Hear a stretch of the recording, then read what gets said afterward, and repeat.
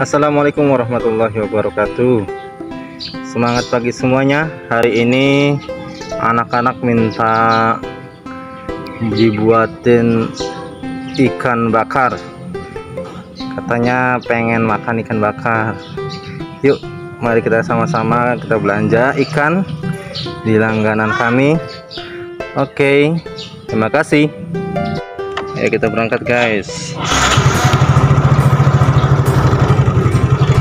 menuju ke tempat jualan ikan. Ya kali ini di channel Ayah Kirno akan membahas terkait dengan cara pengolahan ikan bakar yang tentunya dengan mudah dan enak. Pengolahan ikan merupakan bagian dari pembahasan yang ada di bab pengolahan makanan di mata pelajaran prakarya oleh sebab itu, mari kita simak baik-baik video tentang pengolahan ikan bakar dan jangan lupa like dan subscribe.